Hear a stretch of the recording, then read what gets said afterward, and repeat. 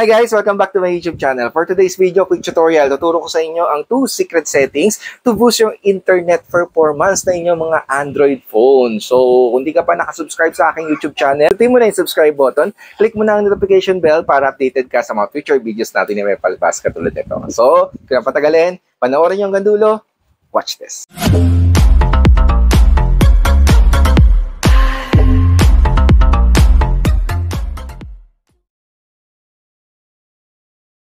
So ito guys, punta tayo sa ating mga Android phone. So hanapin natin tong setting icons.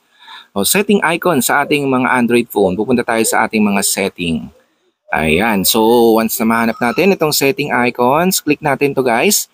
Then uh, scroll down natin to. Scroll lang natin, hanapin natin itong about phone. So dito natin hanapin sa baba ang about phone. So click natin guys. So then once na maklik natin, scroll natin, Hanapin natin software information. Click natin itong software information. So, once na ma-click natin, hanapin natin itong build number. So, click natin ng 7 times itong build number para ma-open ang developer options. So, 7 times natin i-click yan guys. Yan. Then, mayroon dyan lalabas na pin. Mag-pin kayo ng inyong phone.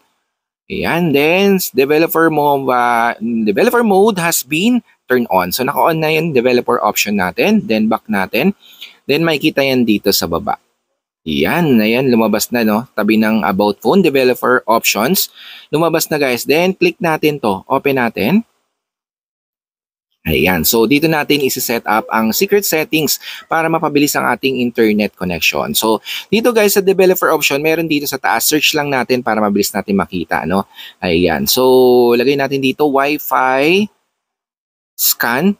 So search lang natin Wi-Fi scan. Hanapin natin tong Wi-Fi scan throttling. Yan, Wi-Fi scan throttling.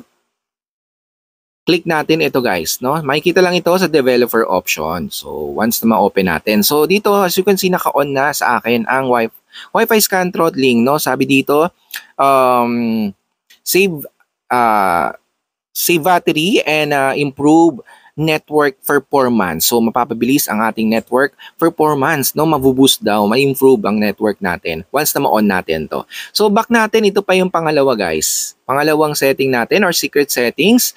So dito type lang natin itong mobile data Ayan, always on. So, ayan. So, lalabas dito, uh, mobile data always active. So, mobile data always active ang ating hahanapin. So, click lang natin ito, mobile data always active. So, as you can see, naka-on sa akin.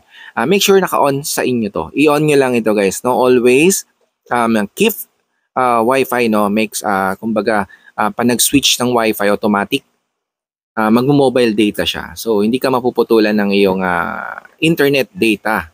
Yan. So, dire-diretso siya. Once na mawalan ng Wi-Fi, mag-automatic uh, mag-switch siya sa mobile data natin. So, hanggang dito na lang. Yun lang po ang ating secret setting para ma-boost ang internet connection. So, maraming salamat. Have a nice day. Mabuhay. Subscribe, guys. Bye-bye.